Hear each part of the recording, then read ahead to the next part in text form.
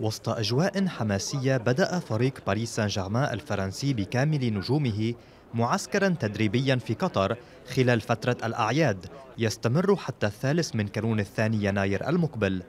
ويخوض سان جيرمان مباراة ودية مع ريال مدريد الإسباني بالدوحة في الثاني من كانون الثاني يناير.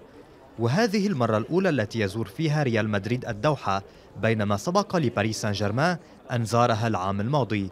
وأعلن الاتحاد القطري لكرة القدم عن بيع معظم تذاكر المباراة في وقت قياسي وسيقام اللقاء على استاد خليفة الذي يتسع لخمسين ألف متفرج والذي سبق له في الأعوام الماضية استضافة عدد من المباريات العالمية جمعت إنجلترا مع الأرجنتين والأخيرة مع غريمتها البرازيل وإسبانيا مع الأوروغواي.